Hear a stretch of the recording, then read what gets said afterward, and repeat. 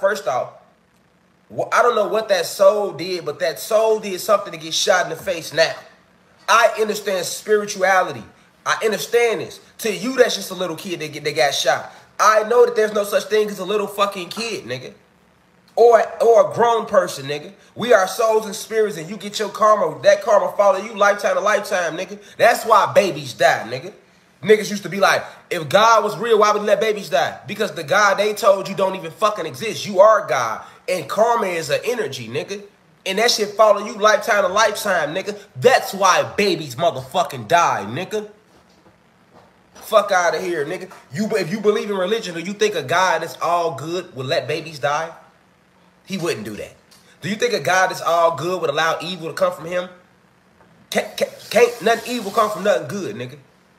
Good is good, evil is evil, nigga. Can't nothing good come from nothing evil, and can't nothing evil come from nothing good. Miss me with all that religious shit. Let me give you the metaphysics. Nigga, you see a baby get shot, baby get killed, that's, that soul was probably gonna come in and fuck the world up. You didn't even know it.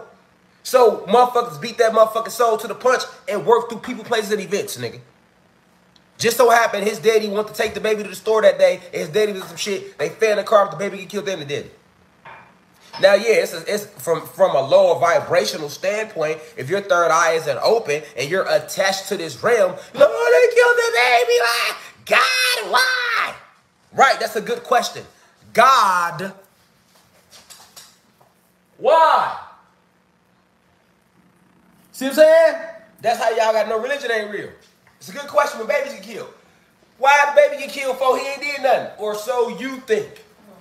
Nigga, you don't even know. Boy, that soul finna grow up and torment this motherfucker, boy. He had to get the fuck up out of here, nigga. He ain't even supposed to got here. His ass snuck through and entered into the realm. So motherfuckers went and snagged his, uh, snagged his ass back up before he can fuck up our plan. See, this shit get deeper than what y'all think on the surface, man. This shit is all spiritual warfare.